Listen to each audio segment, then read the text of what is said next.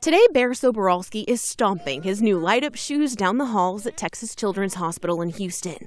They're joyful steps in his long journey. When CBS Austin first introduced you to Baer, he was about to start dialysis. Unfortunately, dialysis actually failed for him after about a two month period. Whoa! Mom Mallory explains that escalated Baer's need for a transplant. The would be rambunctious toddler was wearing down. Then, the call she and Dad Keith had been waiting for. Not only had someone gone through the whole process of testing, but that they were a match and that they were ready to proceed and ready to schedule a date. It felt like my whole body was vibrating. I was so excited and so happy. The following 90 seconds just went in slow mo.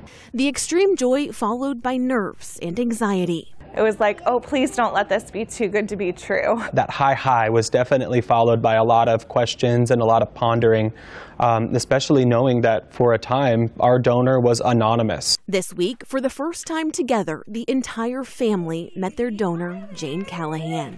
So good to see you. Again. It's so great to see you. Oh, we both super black. oh.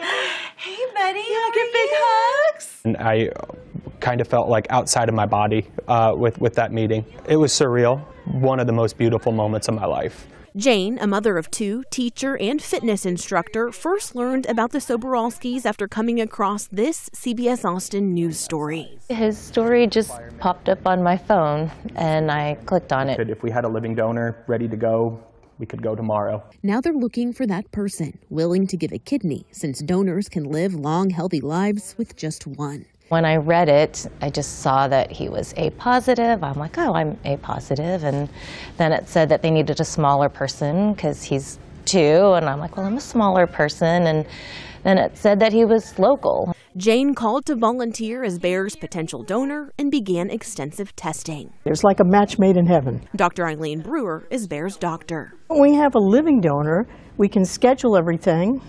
Everybody can be on the top of their game and things just go better. I just feel like that's what God was calling me to do.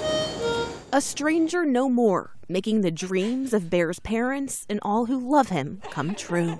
What really touches me just to see how, it'll make me emotional, to see how Mallory, you know, is very happy when he received a kidney and I really wanted to give because I thought, you know, if that was my kid, that I would want someone to do it for me too. Baer and Jane forever connected through one life changing act of love. My best friend was like, but, but what if your kids need your kidney one day? I'm like, well, then I would hope that someone else would do the same for me because someone needs it now.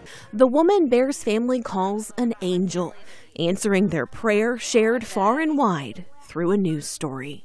What if that news story didn't run? Where would we be today? Where would we be with the transplant journey or with dialysis? Where would Baer's health be? Ultimately, the stars aligned and I, I, I feel that God put us all in the right place at the right time to make the right decisions to help save his life.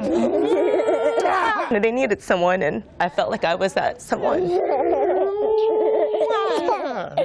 Thank you for watching. Please hit the subscribe button and get the latest news by downloading the CBS Austin News app.